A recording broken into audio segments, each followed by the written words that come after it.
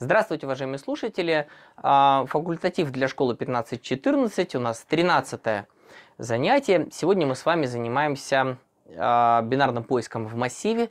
Ну и, надеюсь, задачками на бинарный поиск по ответу. А, я рассказывал в прошлый раз довольно подробно всякие штуки про математику. Математику двоичного поиска корня методом деления пополам. Ну и потом, собственно, этот метод.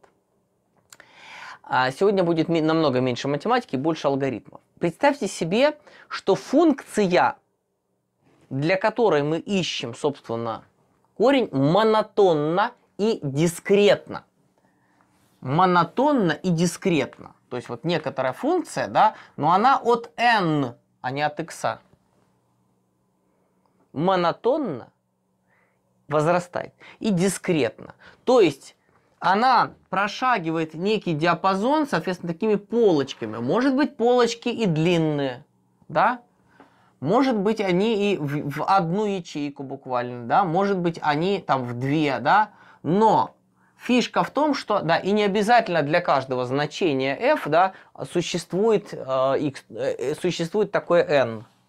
А, соответственно, n равное там 1, 2, 3, 4, 5, ну, я сейчас начал считать n с единички, да, так вот просто именно первый, второй, третий элемент, да, шестой, там, седьмой, восьмой, девятый, десятый.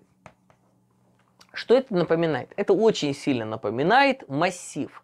На самом деле двоичный поиск, двоичный поиск конкретного значения функции, а, дискретной монотонной функции ничем принципиально не отличается от двоичного поиска по отсортированному массиву. То есть можно так сказать, что у нас двоичный поиск, еще раз, давайте я сформулирую, собственно, тему, да, двоичный поиск, да, э, значения либо а, монотонной, монотонно возрастающей, монотонно возрастающей функции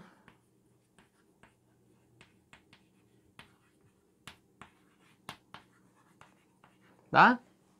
Либо, а, соответственно, двоичный поиск значения в отсортированном массиве.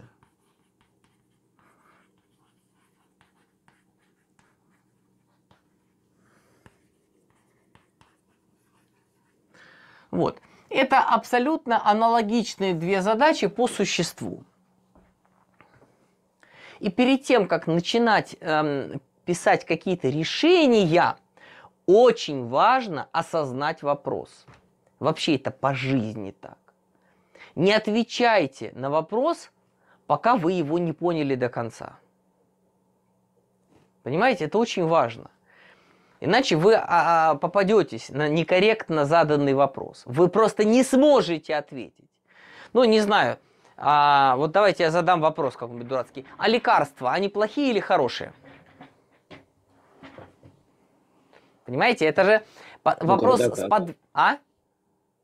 Когда как? Когда как? Да, к месту, не к месту, а какие, а что мы понимаем под лекарствами?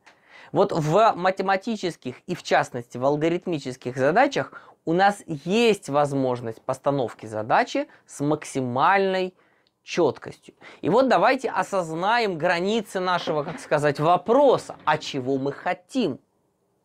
Потому что а, двоичный поиск значений. А если этого значения нет, что я должен вернуть в качестве ответа? Ну, желательно же, чтобы это было число, правда? Мне нужно вернуть число. Наверное. Да? Ну, да, да или нет, это другой совершенно ответ. Да? Но давайте конкретнее. Наверное, мне хотелось бы вернуть, где это значение встретилось. Ну, давайте, вот я пропишу здесь конкретные значения. Ну, допустим, это 2, 3, это 4, это 5, это 6. Семерки нету, да? восьмерка есть вот там в двух значениях. Вот, допустим, я ищу число 7. Что я должен вернуть? Понимаете, да? А если я ищу число 4, что я должен вернуть? Какое местоположение? 3, 4, 5, что? Любой из них случайное, самое маленькое, самое большое, какая, как, что я должен найти? И вот возникает интересная мысль. А поскольку возникает, а, а если я ищу число 1? Так вот идея какая? А давайте, ну, я не знаю, я бы хотел все-таки э, от нуля, наверное, эти числа прописать, да? 0, 1, 2, 3, 4, 5, 6, 7, 8, 9. Вот. А, так вот, универсальным является такой ответ, что для любого числа, для любого значения, да, для любого x можно всегда указать так называемую левую границу. Существует так называемая левая граница, да, которая подразумевает что? Что все индексы, все индексы, которые правее этой левой границы, да, существует левая такая, что для любого, собственно, n, ну, в данном случае n у меня, да, для любого n большего этой левой границы, то есть правее этой левой границы, у меня значение функции, ну или массива, соответственно, а, x, а, а n того, да, значение массива, ну, я тут писал функция, давайте f, да, f, соответственно, от n у меня больше либо равна искомого x. Еще раз, смотрите. Дело в том, что у меня есть в крайнем случае возможность взять границу в точке минус 1. То есть всегда можно сделать минус 1. И тогда для любого числа, для любого индекса все значения больше либо равны x. То есть если x настолько мал, что он равняется единице, например, и все элементы массива больше либо равны единице, Сейчас. Да. В этом случае, ну, на самом деле, в этом случае можно Сейчас, было бы... Я слушаю. А, простите, у меня просто интер... А, простите, у меня интернет пропадает, поэтому я пропадаю, у меня пропадает. А что есть индекс при x?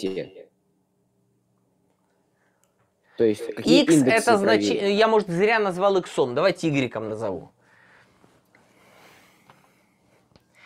Y это искомое значение. То есть я вот здесь провожу некую черту и говорю, вот давайте найдем а, такую левую, самую левую, как бы левую границу, left boundary.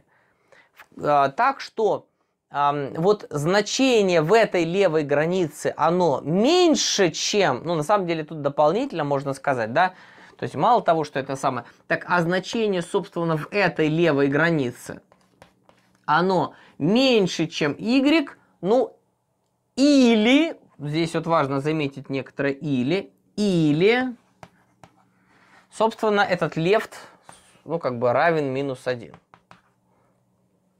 Ой, или, не илу. Ну, то есть, смотрите еще раз, да. Давайте для какого-нибудь э, y, который у меня вот где-то хотя бы здесь находится. Ну, давайте для семерки. Ну, э, слушайте, давайте для четверки. Что будет являться левой границей диапазона присутствия y равного 4? Я хочу выразить вот это вот left, да, еще раз. Как левая граница, левая граница, да, диапазона присутствия значение y. Ну-ка, не знаю, там, значит. Ну, смысл вот в чем, что y, да, у меня он а, не, не, не в left, а правее. Y, если он есть, то он находится правее. Понятно? Причем mm. на самом деле важно, что непосредственно правее. Да, если он есть, то он непосредственно правее этой границы left. Понятно? Сейчас я, э, как сказать, чуть-чуть математика упростится, когда я скажу вот итог. Левая граница диапазона присутствия. Но функция, ну или массив, соответственно, если массив, то я квадратные скобки напишу, да? А от left меньше y, он не равен ему. Понятно? И точно так же для любого y существует и правая граница диапазона присутствия, в которой, соответственно, для любого n, который меньше, чем этот right, у меня функция, ну или, соответственно, массив монотонно возрастающий, да, Соответственно, ну, монотонно здесь в данном случае, можно сказать, не убывающий. Но это, мне не нравятся эти термины, я, кажется, вам произносил про них, да, то, что вот возрастающий, не строго, лучше так сказать, не строго возрастающий. Так вот, значит, а, в которых f от n меньше либо равна y, для всех n меньших right, а в то же время для f от right у меня что? Значение больше y. То есть right уже точно там y нету. То есть он дальше, за пределами находится. Да? Ну, либо, соответственно, этот right, он уже как бы за пределы массива. Ну, там на десятку показывает. Да? Но я не хочу писать равно 10. Да? Он равен длине массива. Потому что это как раз уже как бы верхний предельный недопустимый индекс. Ну, я пишу не по сишному, а по питоновски, но тем не менее, да, ну вы понимаете логику. Массив длины 10 от 0 до 9, значит 10. И тогда мы можем сказать следующее. Что это значит? Вот из вот этого вот означает, что для любого числа n, которое принадлежит диапазону от left до right, просто как следствие вот, вот, это, вот этого, и вот этого. Причем именно вот а, этот интервал, да, в котором не включая вот left до right, для любого вот этого вот у меня значение f от n одновременно меньше либо равно y и больше либо равно y. И меньше либо равно, и больше либо равно. То есть оно равно y. То есть, а, ради чего я долго формулировал вот эту левую и правую границу присутствия, места, как сказать, левая и правая границы местоположения y в массиве или там в э, значениях массива. Ради чего? Да ради того, что я легко могу этот диапазон, да, он может оказаться пустым. Вот в чем фишка. И дело в том, что будет очень красиво, что это, э, как сказать, диапазон, оказавшись пустым, он, смыкаясь, да, может сомкнуться вот как бы так, да, то есть 7-8. Я искал число 7, я его не нашел, да, но левой границей для него является семерка, правая восьмерка, это индекс, местоположение, да. Я говорю, ребята, собственно, этого числа в массиве нету. Этого числа в массиве нету. Да? Но если мне захочется его туда впихнуть, тогда мне нужно что? Ну, расширить мой массив, сдвинуть вот этих товарищей и впихнуть его вместо правой границы. Ну, в смысле, правее, чем левая. Ну, это одно и то же, потому что, ну, ровно сюда, да? А, а нам дана левая и правая граница по условию? Нет. Они нам не даны. Но это наиболее адекватное объяснение того, что я собираюсь искать. Вы поймите, дело в том, что я могу постановку этой задачи а, взять и в предельном случае поставить так. Ну, например, у меня э, функция, которая у меня, ну, массив, в котором все значения равны друг другу и при этом равны 5. Что я должен ответить на вопрос о поиске числа 3? М? Ну, Или о поиске числа 5. Вот как, как мне правильно, логично сформулировать, а что является ответом на поиск значения? М? На самом деле, если у меня функция не является а, монотонной, ну или массив не является отсортированным, то ответом на местоположение числа является, э, ну что, на самом деле, представьте себе, оно тут, там, тут, там, где-то оно равно, но это список индексов. В случае монотонном намного проще. Можно достаточно указать два э, индекса, которые как бы обнимают да, этот диапазон от сих до сих, при этом не включая.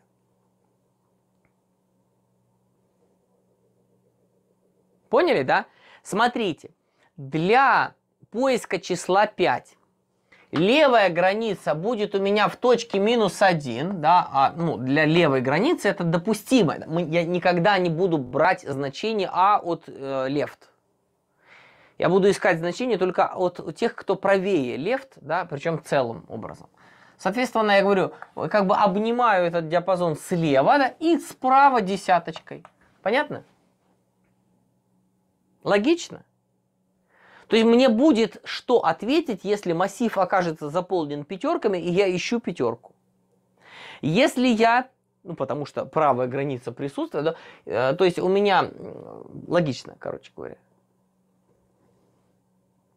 Если я ищу э, число 2, то тогда э, левая граница будет минус 1, правая будет 0. Числа 2 нету. Но это не просто э, ответите на вопрос о левой и правой границах присутствия конкретного числа, например, двойки вот в заданном массиве. Это вопрос о том, а куда, его, куда эту двойку надо вставить, если я все-таки хочу впихнуть ее в массив. Логично? Я беру и говорю, ребята, у меня 0 это тот, ну, right, да, в данном случае. Это то место, куда надо впихнуть конкретно там число 2, если я собираюсь его вставлять в массив, не потеряя упоряд... не теряя упорядоченности. Ну и я, соответственно, расширяю массив на один элемент, все туда копирую и вставляю туда двоечку. Ясно? Вот. Вот такая, значит, идея. Если же я ищу число 6, например, то тогда левая граница присутствия будет что подразумевать? Соответственно, что у меня функция а, для любого n, который больше, чем left, должна быть что? Больше либо равна y. Но таких нету. У меня такая функция, что она везде равна 5, а я ищу в ней 6. Значит, мне надо сделать left таким, например, девяткой, да, что в нем значение, которое меньше 6, я же шестерку ищу, в left значение меньше 6, да, а все, кто правее, правее, к счастью, никого нет, но все, кто правее, а, это когда все кошки а, в этой комнате зеленого цвета. Тут нет кошек. Поэтому мое утверждение совершенно истинное. Понимаете, да? Все президенты, находящиеся в этой комнате, непорядочные люди. Если их реально ноль, значит, значит все, все нормально, мое утверждение есть. Но точно так же, то есть про а, пустые множества очень легко утверждать все, что угодно. Вот. Ладно, но это математики поймут. Короче, я к чему? Что правая граница будет, соответственно, если я ищу шестерку, тогда левая будет 9, а правая будет 10 за пределами массива как раз. Понятно? Куда мне вставлять элемент, с ин, элемент со значением 6, чтобы не испортить упорядоченность? В позицию 10. Ой, как замечательно, даже никого сдвигать не надо. Взял, впихнул значение сюда, и все, вот тебе. Да если вставлять значение в массив, да? Если это массив, а не функция. Итак, я сформулировал, собственно, сейчас постановку задачи, а что я собираюсь искать? Ответ. Я собираюсь искать вот эти левые и правые, левую и правую границы. Следующий вопрос. Как? Как я собираюсь ее искать? А вот здесь я как раз, товарищи, и буду действовать методом двоичного поиска. Только он будет попроще. Попроще. Смотрите, я сейчас на буду искать конкретно левую границу. Правая же граница, да, давайте я верну этот массив, ну, функцию в какое-то условно нормальное состояние. В значении 2 вот так, в значении 3 вот в, в, это, в 3, 4, 5 равен пятерке, в шестерке равен семерки, в семерке равен семерке, в восьмерке равен восьмерке, в девятке равен, да, той же самой восьмерке пускай равняется. А девятки не равен нигде. Правильно? Что у меня там видно? Или это семерки? Семерки, получается, равен, да? Шестерки нигде нету. А пятерка, она вот она. Четверка, вот она. Тройки нигде нету. Двойка, вот она. Единички нигде нету. 6, 7, 8, 9. Здесь на целые 4 растянуто. Ок, ладно.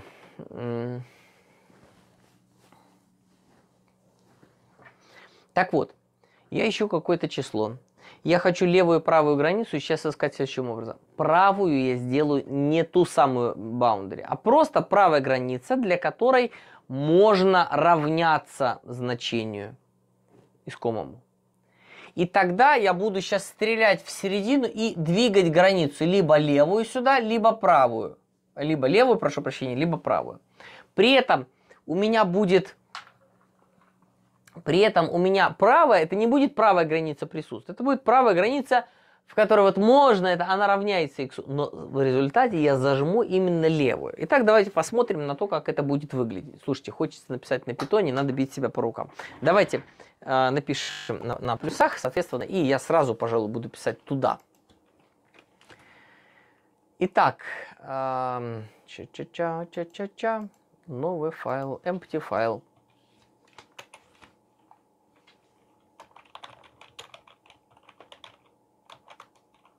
А, ну, я все-таки буду работать с вектором.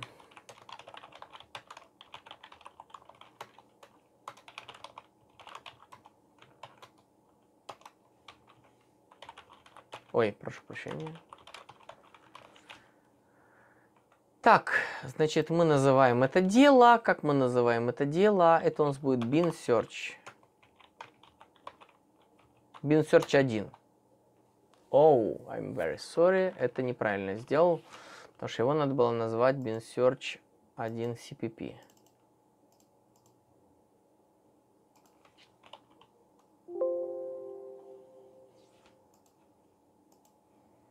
О, вот теперь ок.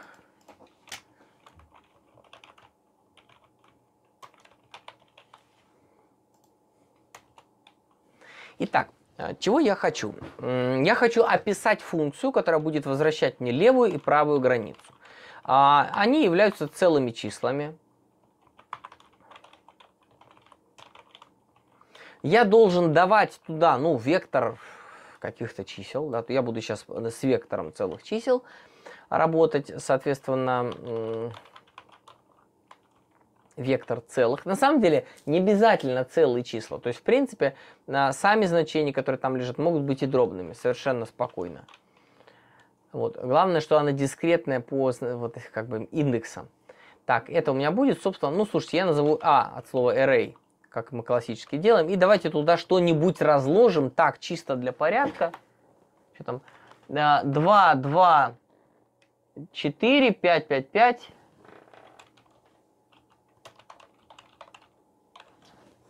А, что там у нас? И 4 раза 7. Ну, допустим, окей. На самом деле, может быть, вместо последней семерки положить туда девятку какую-нибудь. Ну, ладно, давайте-ка пока прям как на доске. Так, значит, я хочу найти левую границу и буду передавать туда, собственно, сам вектор. Да, вектор должен быть отсортирован, проверку этого я делать не буду. Значит, и второе, ой, значит, я хочу, собственно, правую границу найти. Right boundary. Соответственно, что я делаю теперь? А, ну, я их распечатаю, там... Стоп, а как вы в, в int кладете массив? Вектор интов, как я кладу массив? Сейчас. Left, left boundary от а. а это функция, которую я еще не написал.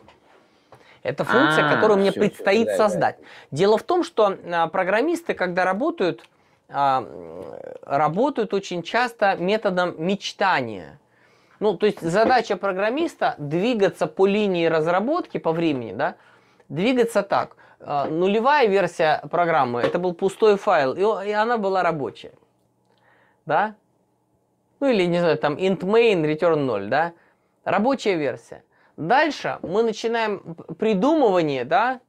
Размечтались, а потом мы приземляемся до компилирующегося состояния. Его можно назвать консистентным. Ну, потому что не всегда компиляция, иногда трансляция, там, ин- интерпретация, как в Python, да? Но смысл в том, что консистентное состояние, в котором программа цельная по ам, запускабельной логике. Ее можно запустить. Возникает версия 1. Ну, это супер микроверсия, да, но смысл в том, что вот эти состояния, вот я размечтался, приземлился, размечтался, приземлился. И э, ход мысли, ну, он важен, да, то есть а как мы мыслим. И я здесь сейчас именно размечтался о существовании такой функции. Пока что ее описание находится исключительно в моей голове. Я на самом деле в этом случае по-хорошему не имею права сейчас вставать и идти, не знаю, пить кофе, просто потому что я забуду, а что под ней подразумевается. Хотя, впрочем, я объяснил это уже на доске, да, но доска место ненадежное. Но две эти функции еще нам предстоит записать. Пока что же я хочу сказать, что вот у меня есть left, да, соответственно, у меня есть левая, правая границы, да.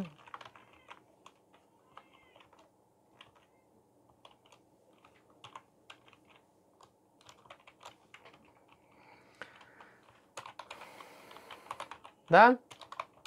Значит, а, и... Ой, что это запятую написал? Не запятую, а вот так вот, касая n. Окей. Значит, короче, а, но самое интересное, что я могу, в принципе, хоть и пробежаться по этому массиву i, распечатать все, начиная от left до right, да, на все эти значения, и сказать, вот эти значения, они подходят. Слушайте, ну они все будут тупо равны тому, чему там равны. Понятно? Ладно, я не буду сейчас это делать. Да, теперь вопрос, а как же мне эти функции это сделать? Соответственно, left boundary и right boundary это функции, которые должны возвращать целое значение, да? Ну, void, Получай... А? ну, void, по идее, нет? Как это void, когда они возвращают значение, которое я присваиваю в left? Какой void? А, это никак в питоне работает. Понял.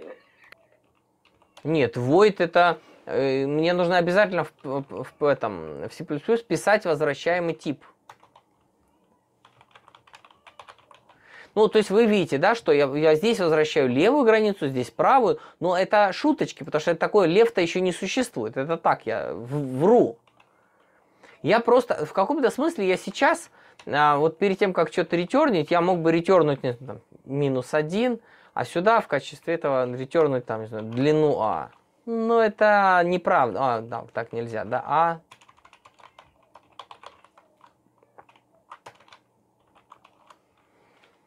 Или size, я уж не помню. Size, кажется. Значит, а здесь мне, соответственно, тоже надо указать, что это вектор интов, типизировать это значение, и моя программа становится компилябельной. То есть она ничего не реализует реально. Да, она сюда пишет вранье, но она является консистентной. Она всегда возра- она компилируется, вот ее результаты очевидные, да. То есть, э, знаете, что это такое? Как бы я могу сделать тестовый прогон. Именно поэтому вот такой подход, он важен, потому что я могу промежуточные версии отдавать на тестирование, в то время как программа еще не дописана, она не готова. Итак, а теперь, собственно, занимаемся фиксингом, да.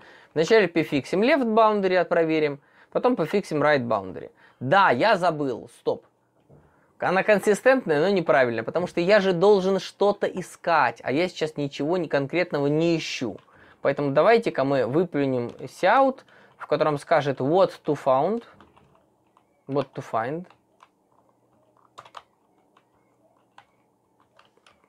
X равно, ну и ждем какого-то значения, да. Ну, этот x должен быть описан, да, должен, нужно, он должен быть того самого типа, который хранится в массиве. То есть, если тут флот, то тут флот. Даже вот вплоть до того, что я думаю, может флот записать.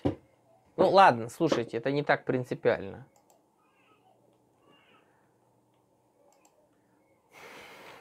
Знаете что? Я сделаю type-def. Заодно вы узнаете про существование такой конструкции. Type-def – это синоним типа. Я скажу, что синонимом типа double будет у меня буковка T. Ну так, просто, вот просто говорю, а пусть буковка T будет синонимом типа double. И тогда вот здесь вот я буду говорить вектор T, вектор T, вот здесь вот вектор t, ну, правда, понятно, что если я сделаю не int и не double, а что-то другое, то у меня просто не заработает. Да, а здесь тоже скажу tx, вот так вот, да, то есть я спрятал тип, какой-то конкретный тип под именем буковки t. Ну, может, я слишком примитивизировал, может быть, мне нужно было сказать там, типа, вектор, вектор элемент type, что-то еще. Ну, слушайте, я сейчас работаю так примитивно. Короче, Фишка в том, что мои uh, left boundary и right boundary должны этого x получить, чтобы они знали, что они ищут. Понятно? Я ищу x в А. Логично? Надо изменить, соответственно, заголовки, что я ищу конкретного x, да, типа t. Да, в векторе. Ну, впрочем, кстати, сам вектор я ведь могу передавать по ссылке. А поскольку я его не собираюсь изменять, то я могу сказать, что это константная ссылка. Это мелочи, которые для любителей, больших любителей C++, как сказать, строгой типизации константности должны греть душу. О, мы не тратим лишнюю память, мы не делаем лишнего копирования. Ну, короче, слушайте. И мы гарантируем неизменность. Так вот, слушайте. Первый способ найти эту левую границу очень простой. Надо просто взять, начать с позиции минус 1. И пока у меня, соответственно, left меньше длины массива,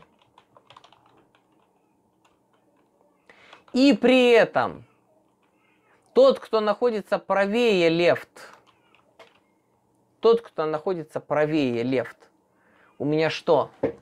Больше либо равен, чем что? Ну, чем искомое значение. Нужно что делать? Этот самый left просто увеличивать на единичку. Просто все. Вот это конец. That's all. Для правого значения что я могу сделать? Для правой границы. Да не проблема. Вот у меня правое значение, оно будет равно a.size. Да? И, естественно, для него самого я не могу. Так вот, пока правое значение у меня что? Больше нуля, ну, когда оно 0, то уже не, не попадает ни одно значение, поэтому надо 100% останавливаться. Оно, меньше, оно не может быть меньше нуля. Самое маленькое правое значение это, собственно, 0. И а от э, позиции right минус 1, то есть левее его, э, меньше либо равно x, до этих пор мы продолжаем смещаться и шагать налево. Right минус равно 1. Ну, то есть вот это значение мне подходит, раз оно меньше либо равно x, да? Ой, прошу прощения, пока оно, я, кажется, затупил, простите. Левый шагает направо, пока значение справа от него больше либо равно x. Нет. Пока значение меньше либо равно. Неа. Меньше строго. Строго меньше. То есть пока значение справа меньше x, значит я и именно его, лефт плюс 1, могу использовать в качестве нового лефта. Именно поэтому я и шагаю направо. Здесь, соответственно, тоже не э, меньше, либо равно, а наоборот больше. То есть я же наоборот, как условие продолжения, что right все становится меньше, меньше, меньше. Вот.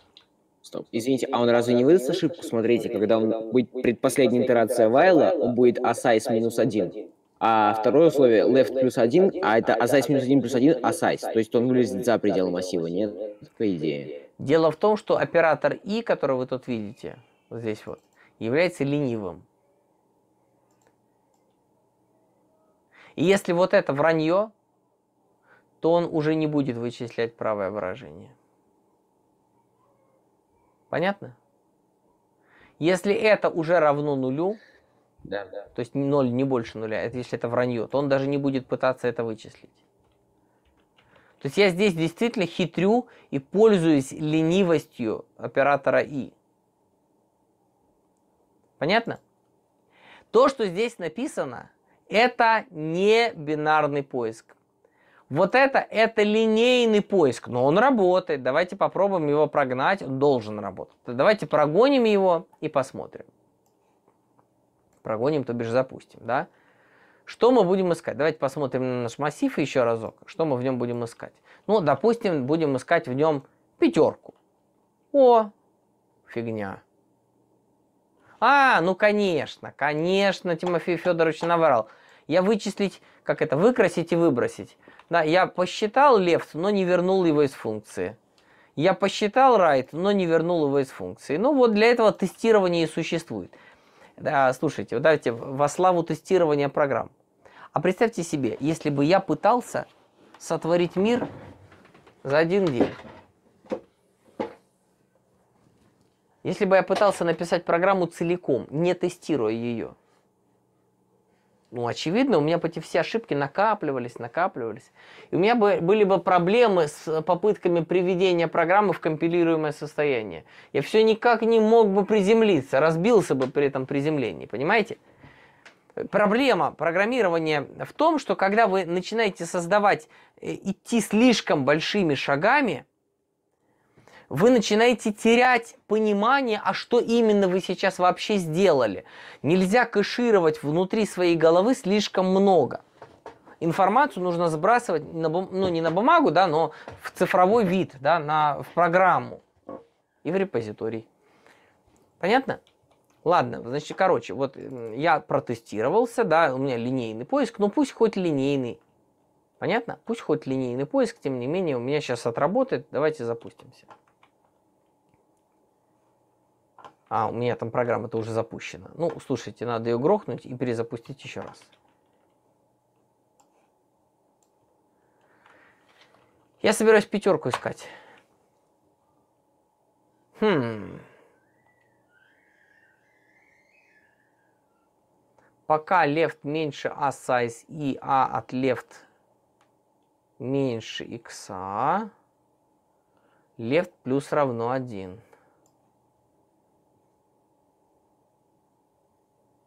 Left boundary. Еще раз.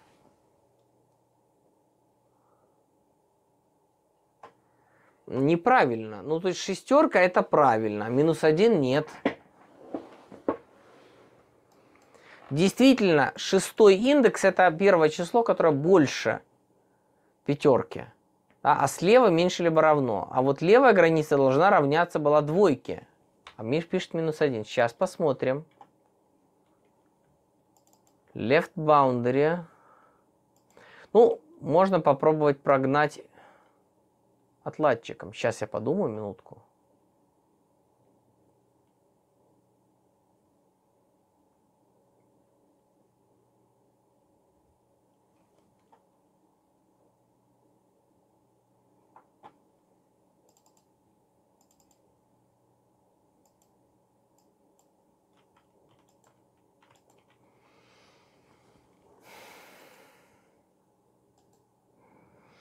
Даже не знаю. Ну давайте что ли здесь.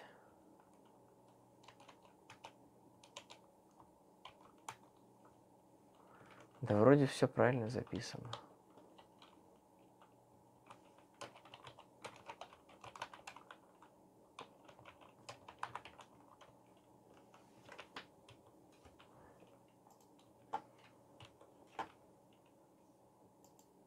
Я добавил отладочную печать.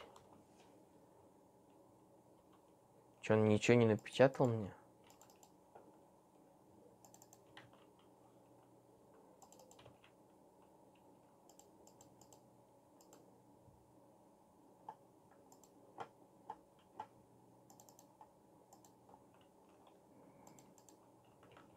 А, нет, подождите, ну не может быть. Давайте мне, я сейчас попробую еще раз перебилдить. Build and run. Это фигня какая-то лезет. А главное, что он мне ничего не написал вообще. Пока left меньше, чем size. Ну давайте что ли принтанем size.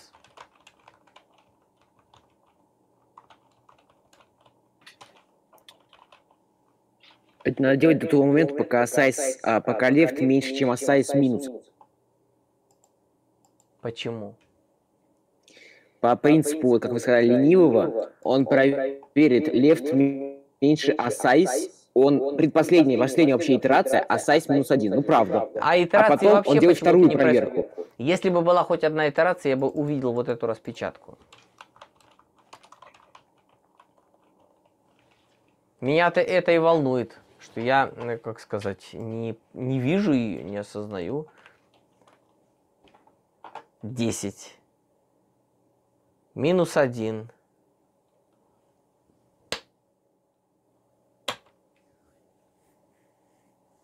Вы даже не представляете себе масштаб того, что произошло. И вы даже не представляете себе, как это по- починить. А я знаю.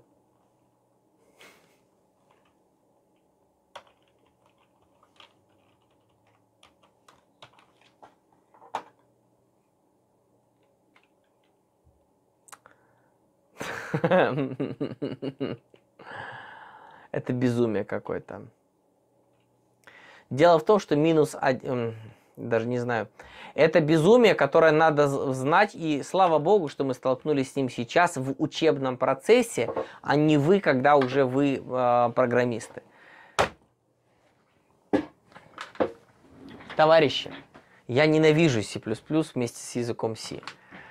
Но, увы, к сожалению, приходится ими владеть. Есть даже такая книжка, в которой, а, которая называется типа там сколько, сколько-то способов отстрелить себе ногу при помощи веревки. Ну, про всякие фишки в плюсах. Значит, слушайте. Дело в том, что когда мы в питончике берем два значения и, э, смотри, 5 разделить на 2, например, да, то у нас есть возможность интроспекции. Мы можем спросить, а какого ты типа, товарищ? И он скажет, «М, ты флот, окей. В C++ больше количество типов. Помните, на самом первом, пе- первом, первом занятии я вам рассказывал, что есть int, да? Но есть великолепные типы с фиксированной точностью, типа там int 8t, 16t, да, там 64, ну, количество бит, да? Но есть и беззнаковый uint. Но на самом деле вот в классических вещах, местах, в классических местах чаще используются типы нефиксированной точности. Вот int это тип, который удобен для данного конкретного процессора, под которым вы это работаете, для данного конкретного компилятора. А значит он может быть и двухбайтный, и четырехбайтный. Ну, 8-байтных я не видел еще, интов. Но он может быть знаковый, он по умолчанию является знаковым, так называемый signed int.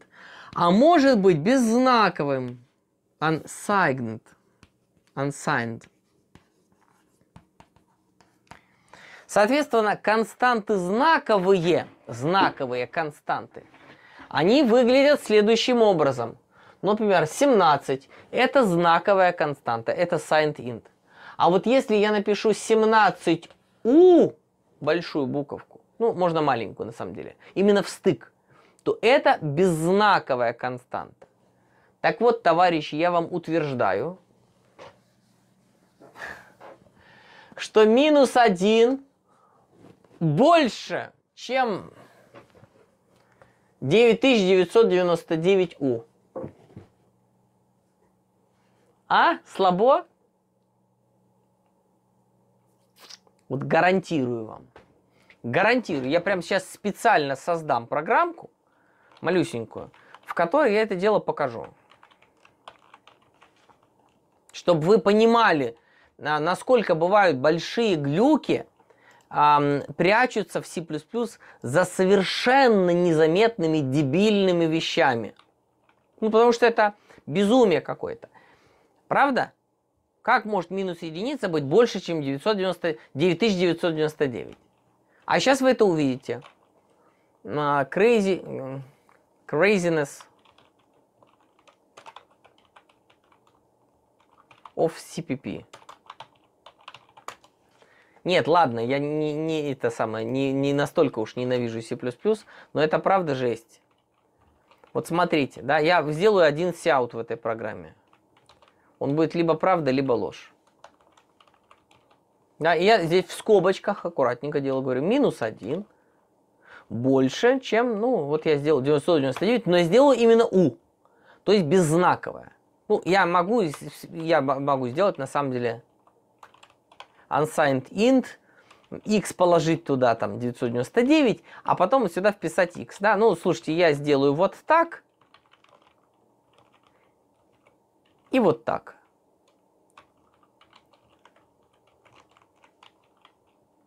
Да?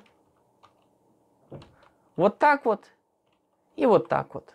Ну, на самом деле я могу сделать здесь еще и, э, ну, и просто int Давайте лучше int x равно минус 1 сделаю. Давайте unsigned int y равно вот это вот, да. И я здесь сделаю, соответственно, x больше, чем y, да. И вот вы просто это самое не понимаете, насколько это безумно и, и почему же это правда. Как в этом, в дне радио. Миша, это правда!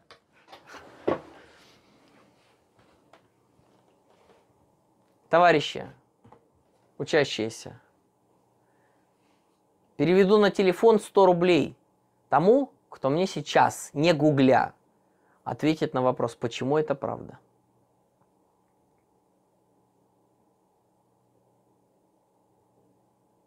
Ну, один в данном случае это правда. То есть я вот сказал, да, я, э, как сказать, вот сделал отдельную тестирующую язык программу. Эта программка сейчас тестирует а, проблему языка. Реально я мог сейчас, вот э, занимаясь вот этой программкой, провести сутки, двое суток в отладке, выясняя, где, где глюк, почему, как так, ну елки-палки, я написал отладочную печать прямо в цикле, она не печатается, я в цикл не захожу, но у меня голова на плечах есть, я же понимаю, что я правильно написал, что не так? Но мой опыт мне помогает не сутки тратить, а 10 минут тупника, и уже я вам начинаю объяснять, в чем же дело. Почему? Так, ставка повышается, 500 рублей. Ладно, я думаю, что это не сильно поможет. Но давайте еще минута.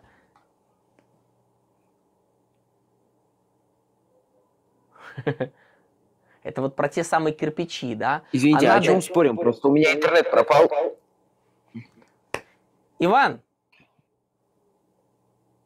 Иван на связи? Я все эти минут 10 слышал примерно так. Очень жаль. Потому что я сейчас готов это самое а, кому-то из вас дать денежек. Ну, под этих самых. Потом, кто будет смотреть в записи, это не касается. А, реально, да, я просто на телефон переведу там, э, уже я озвучил 500 рублей, просто потому что я уверен, что никто сейчас практически, но если вдруг кто-то, не гугля, скажет, почему вот это правда, а у это беззнаковый. Ну вот на ваших глазах вот сейчас вот там написано, да, вот знаковая единица, вот беззнаковая 999, да, ну, там можно дополнительную девятку вписать, это не поменяет. Давайте, все, я отчитываю Может, последние... Типа хранения? А? Может, из-за типа хранения? И что? Не, ну это и так. Ну ты догадался об очевидном, Иван. Ты говоришь то, что видишь. Что видишь, то Может из-за типа хранения. А, ш... а как? Ну как это может? Как? Имеется в виду, имеется в виду, что при определении больше или меньше число э, сравнивается, насколько я понимаю, в, бит, ну, в битах, ну, в, бита, ну, в общем, сра, сравнивается число в запись, записи в двоичном коде, в то время, как сейчас запись а, unsigned должна, по, по идее, как раз содержится так, что она меньше любого знакового. И вообще, если на то пошло знаковые числа, они же в двоичном коде там записываются 0 а, или 1. Вначале зависит от знака, который вот минус или плюс. Иван выиграл. Ну, ты правильно объясняешь, может быть, не до конца внятно, но... Ой, прошу прощения. Смысл следующий. Дело в том, что возникает вопрос. Вот если и это, и это число одинакового количества байт, вот одинакового количества байт, ну то есть бит фактически, да, ну допустим у меня вот это число 4-байтное, 32-битное, да, ну, то есть 4-байтное, значит, это такой вагончик из 4, 4 8-битовых вагончиков, да? Это число тоже 4-байтное. Соответственно, смотрите, а, помните, я вам, кажется, рассказывал про хранение двоичных чисел, знаковых. Д дополнительный двоичный код. Помните, рассказывал или нет? Занятие так, наверное, второе. Я сейчас прям посмотрю в программе. У нас, У нас точно было занятие по информатике по питону, когда мы изучали дополнительные обратные прямые ходы.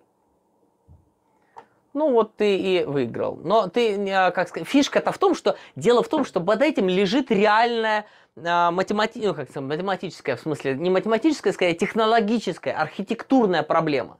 Дело в том, что у вот этих вот чисел, а, у беззнаковых, числа, у которых нолик в начале и тра-та-та-та там единички, да, это получается, что у нас? Положительные числа, да? И числа, у которых первый бит единичка, самый старший бит в старшем байте. И все остальное единички. Это тоже положительные числа. То есть максимальное положительное число будет состоять из ну, одних единичек, да? Я даже вам могу сказать это число. В, среди unsigned интов максимальное число, если int 4-байтный, ну, будем предполагать, что это так, это чаще всего так, да, э, то есть вот это x, а это y, да. Так вот, у меня максимальный возможный y, который только можно сохранить в четырех без знаковых байтов, это будет 2 в степени 32, ну, без единицы, потому что это будет число Мерсена, состоящее из 32 единичек.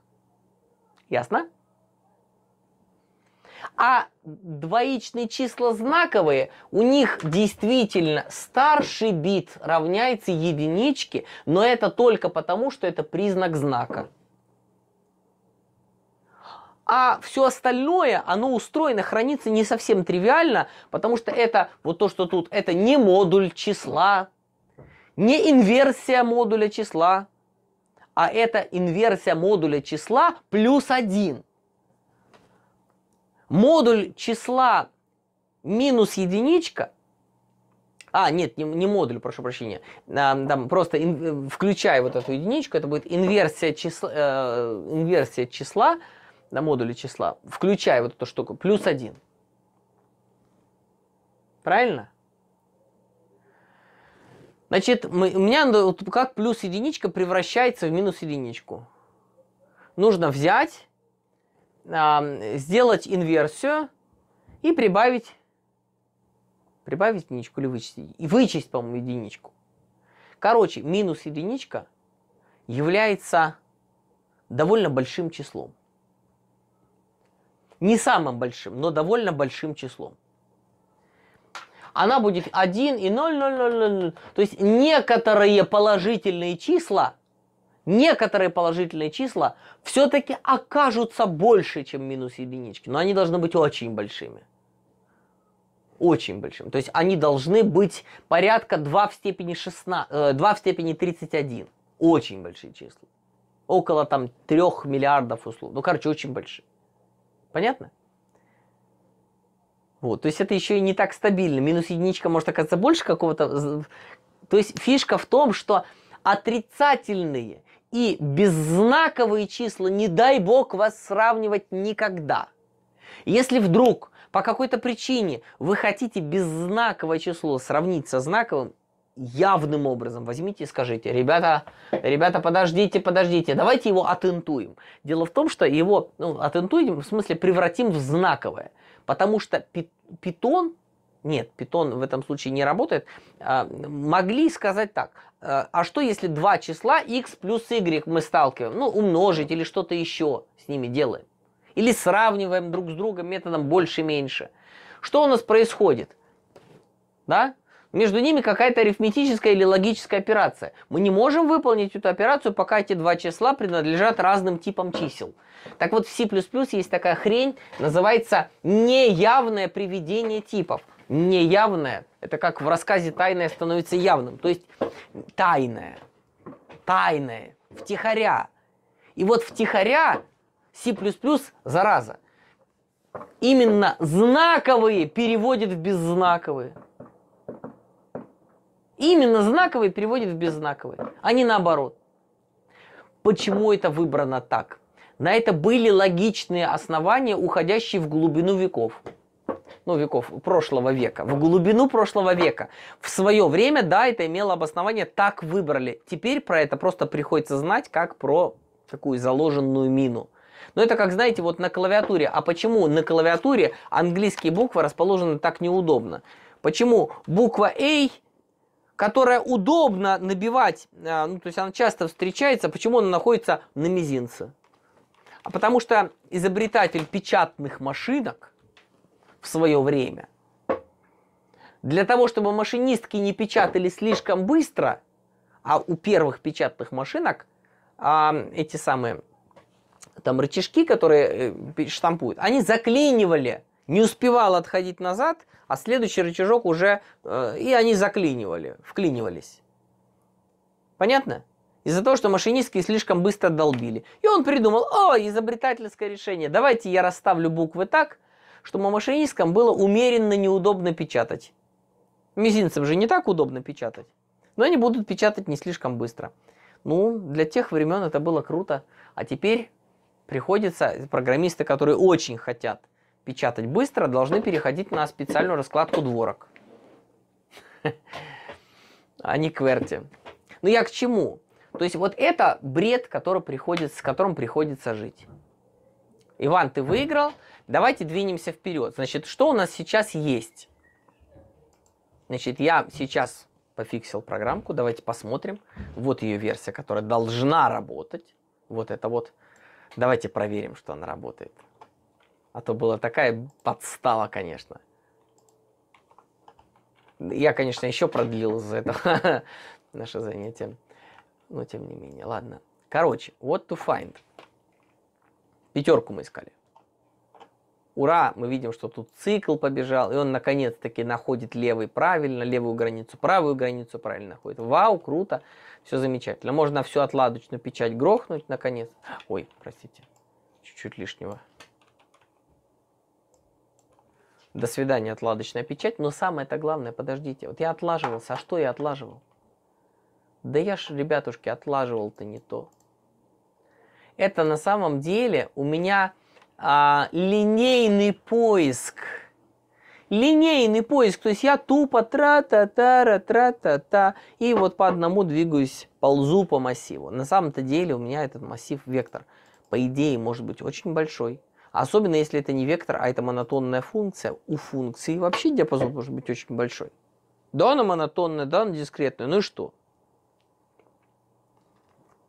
Сечем, да? То есть, короче говоря, а, двоичного поиска тут нет. Это просто я вот, ну, left boundary, я да, его нахожу. Давайте сделаем вот что. Я хочу сделать эти функции, но только сделать их теперь по-нормальному. Я сделаю, по сути, ну, как бы нечто похожее. Нечто похожее, да? да? Но я хочу пользоваться двоичным поиском. И я их назову уже не left boundary, а bin bin search left boundary. Ну, то есть это вот поиск этого левой границы при помощи бинарного поиска. Я гордо хочу заявить об этом в названии функции. Ну, впрочем, эта гордость моя, она не очень нужна. Лучше было бы те функции просто выкинуть, а эти написать. Но тем не менее. Итак, у меня есть искомое значение, есть э, вектор, который заведомо должен быть отсортирован, я наконец, в это верю. А теперь смотрите. Так, я пока это утащу, чтобы сконцентрировать ваше внимание вот здесь. Итак, что я хочу? Я хочу иметь сразу int left и int right. И правый будет у меня равен a size. В данном случае преобразование типа происходит именно в сторону int, потому что это присваивание, а не сравнение. Поэтому тут понятно, что это выражение нужно привести к тому типу, который тут написан, так что окей. А, кстати, да, я вам не сказал, а size, он действительно беззнаковый, зараза. Повбо-вавба. Нет, ну, да, опять же, есть обоснование, почему это так. Вы знаете, есть даже люди, которые сказали, ребята, нас достало это. Достало это просто конкретно. Среди них Андрей Александреску, один из создателей стандартной библиотеки C++. Вот, и они сказали, ребята, нам надо писать новый язык программирования. И сделали язык, который называется D-language, D-lang. А, ну, я сейчас надеюсь, он найдет. Да, он нашел. А, соответственно, язык D, который является как это правильным сделанным C++. То есть он, он э, там много чего заимствует из классных, крутых языков, в частности, из Питона, из Эйфеля, из C-Sharp в том числе. Очень крутой язык, но мало популярный, мало известный. И в нем вот этих вот костыль, э, проблемных мест, которые были, вот типа вот этого вот, да, вот их там ну, нет или практически нет. В нем нет макросов, в нем нет вот этих вот. Очень много крутых вещей, связанных с параллельными. Короче, язык клевый, только мало где вы найдете работу с этим языком, поэтому мы его и не изучаем. На, на Олимпиадах я не слышал, чтобы его кто-то мог использовать. Ну, как-то тоже вот не звучит. А что мне вниз поехало? Да? Что мне поехало-то? Да, действительно вниз поехала. Давайте поднимем. Я, видимо, сдернул.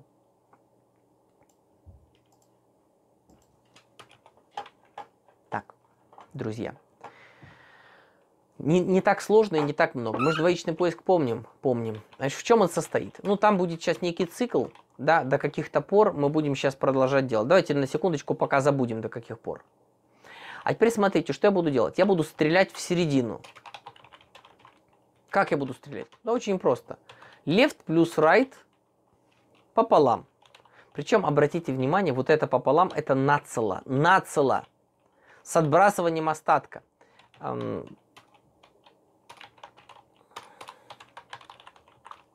точнее, именно, с, с, как это называется? Давайте лучше напишу слово нацело. Это важно, а, потому что результат является целым числом, не дробным. Это же не питон. Здесь, если левый оперант это целое число и правый целое, то результат целое. Это в питоне деление дробный дает. А в C++ вот проблема, вопрос, это что, дробное или целое? Ответ, это целое, причем с отбрасыванием остатка. То есть это как если бы было в питоне вот так. Понятно? Но здесь в C++ это вот это две штучки, это комментарий однострочный, как решетка да? Но вот э, все по-другому. Ладно, э, простите, пожалуйста. Значит, итак. Короче, я нашел серединку этого интервала. А теперь вопрос. А, собственно, вот этот middle, он у меня в качестве кого сгодится? Значит, обратите внимание, сейчас я ищу left boundary, а правый, правая вот эта штуковинка, это не right boundary. Я ей позволю, вот этому райту, я позволю двигаться сквозь а равные, а мидловские, ну, в а right может быть равен искомому x. Понятно? Таким образом, я скажу так. Если а от middle меньше, чем искомый x, то тогда, тогда этот middle сгодится в качестве левого. Да? Этот middle я выстрелил посерединке, а функция монотонная, там, ну, очевидно, ну, либо одно, либо другое будет, да, то есть тут без вариантов. А если нет? А если нет, то это автоматически означает, что у меня а от middle больше либо равно искомого x. И в этом случае это мне сгодится как поджиматель левого, левого ограничителя. То есть right это не правая граница допустимого диапазона. Она двигается в том числе сквозь x равные, сквозь а и t равные x искомому. Поэтому я буду говорить, что right равен middle. Да, в этом случае. А до каких пор все это делать? Ответ до тех пор, пока right и left не сомкнутся на вот, вот что называется возле левой границы. То есть left еще меньше, а right уже поджимает его. Да? Пока right минус left больше одного. Именно больше, не больше либо равен. Потому что когда они равны, right минус left равен одному, то они, они не могут сомкнуться просто в принципе, да? Но когда они больше одного, это означает, что у меня еще имеет смысл middle брать серединку, да. А когда они вот под, поджались, я говорю, все, ребята, все нормально. Я как раз нашел ту самую левую границу, потому что правее, чем left, там находится элемент, который больше либо равен x, а в left находится элемент, который меньше x. Тем самым я сохраняю этот инвариант и возвращаю тот самый left. Вот этот вот цикл поиска будет абсолютно такой же, когда я буду искать правую границу. бинсерчем. Абсолютно такой же. За одним маленьким исключением. Во-первых, я возвращаю right, а не left. А во-вторых, мне нужно здесь ну, знак поменять. То есть мне нужно, чтобы равенство, оно, э, как сказать, допускалось для левого поджимателя. А right у меня, соответственно, э, шел в это самый, всегда был больше x. В результате у меня получится этот э, двоичный поиск да, для правой границы, двоичный поиск для левой границы. Вопрос, имеет ли смысл его как-то особенно ускорять? Слушайте, я вам честно скажу, нет. Асимптотика настолько хорошая, то есть это вот скорость логарифмическая, логарифм от длины массива, что нет большого смысла как сказать, если мы поискали левую границу, как-то сильно ускорять поиск правой границы. Ну, можно воспользоваться ей, чтобы ускорить, но еще раз, не нужно. Давайте попробуем воспользоваться именно ими. Да, давайте я left и right перевычислю еще раз и еще раз распечатаю. Ну, я их не буду создавать. Слушайте, давайте создам. Назову ее там bin left. Ну и, соответственно, binary, bin search, left boundary и bin search right boundary. Ну и, соответственно, вот здесь я буду печатать... Эм, ой, прошу прощения. Вот так вот я сделаю. Левый, правый, да и там, слушайте, я тоже так сделаю. Вот. Ну и, соответственно, не left, а bin left – и бинрайт. Та-дам! Тра-та-та-там! Итак, мы будем искать. Что будем искать? Давайте потестируем нашу программу, погоняем для разных значений. Давайте семерку сразу поищем. Абсолютно одинаково. То есть он нашел семерку. Левая ее граница равна чему? 5. 0, 1, 2, 3, 4, 5. Вот ну, в смысле, я вот подразумеваю, что вот, вот, вот это, этот индекс этого элемента является, соответственно, левой границей, да? Вот. А правая 10, ну, десятка, это в смысле за пределами массива, то есть вот правее, да? То есть как раз ровно, все норм. То есть начиная с 6 до 9 как раз валяются семерки. Да? Так. Давайте еще разок запустим для, например, Например, э, ну, слушайте, для двойки давайте погоняем, да. О, левая граница минус 1, правая 2. И линейный, и бинарный поиск, соответственно, возвращает мне одинаково правильно. Да, ну, я не знаю, там, давайте я вот здесь вот bin left, чтобы было видно эту разницу в этих самых. Тадам, запускаем еще раз. Что будем искать? Ну, давайте, не знаю, там, тройку поищем. Тройки нету. Но оба вида поиска находят, что тройка находится правее элемента с индексом 1 и левее элемента с индексом 2. Да? Ну, то есть получается, что она правее этого, но левее этого, ну там понятно, там просто тройки нету. Да? Но уж если она находится, то правее элемента с индексом 1 и левее элемента с индексом 2. То есть в данном случае нигде. Но вот это нигде, оно очень определенное. Друзья, давайте сделаем этот самый вывод. Я сейчас, во-первых, подложу это файло, все, включая вот ту ошибку, которую мы сейчас, как сказать, нашли. Под, подложим это дело в наш э, репозиторий, в REPL наш. И сейчас, одну секундочку, подложу. Yes, come on, значит, я это дело сделал, да. а, REPL IT, Текхирянов, ЦПП, 15... я просто сейчас перейду, покажу. Ну, вы же знаете, где это дело валяется, так что вы просто сможете взять. Вот он, Lesson 13, ну и в нем наши эти самые. Ох ты ж, елки-палки, я туда лишнего понакидал, а аут.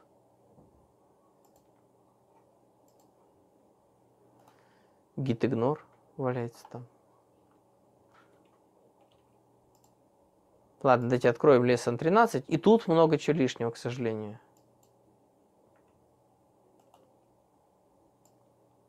Не rename, remove, delete. Простите, пожалуйста, не это самое. Не убедился, что у меня там чистенько.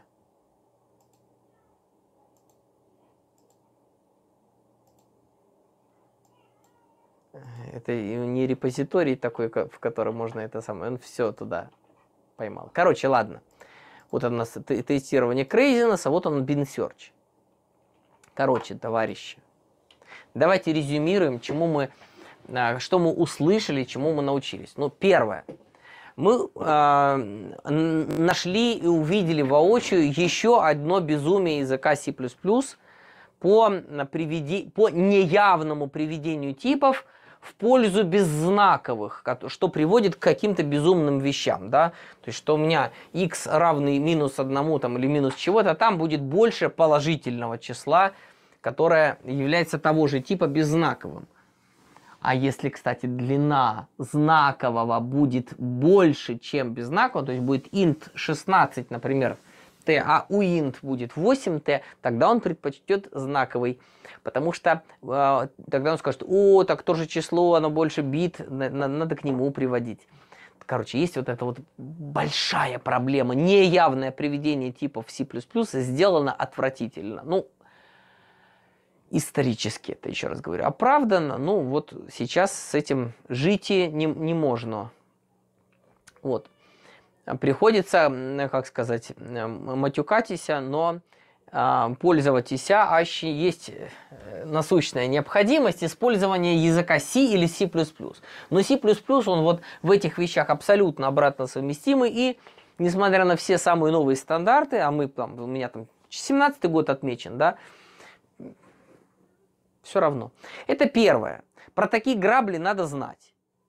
Надо знать про эти грабли в языке C++ и их побаиваться, ну или уметь обходить аккуратно. То есть вот эти сайз вектора, будьте сразу готовы его интовать, чтобы он становился знаковым.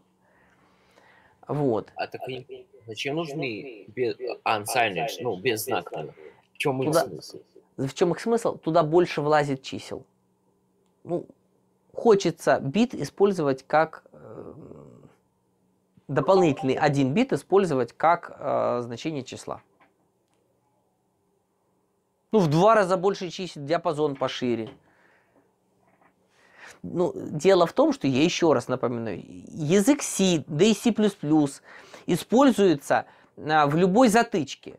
То есть а, это же язык, который работает на а, простите, от Омега 8. Ну, ну не, не, в, не в чистом виде, но для него компиляторов всяких полным-полно. Любой микроконтроллер возьми, какую микросхемку, которую можно прошить, там, не знаю, а, я уверен, что... Нет, ну я почти уверен, что, ну, знаете, брелки для машин, которые чпук, кнопочка раз, это чпук, там, там простой микроконтроллер, такая платочка малюсенькая. Она от батарейки питается по несколько лет, она эту батарейку кушает медленно-медленно. Ну, год, сто процентов. Понимаете, да? И вот его программируют на чем? На C++, на C чистом или на C++.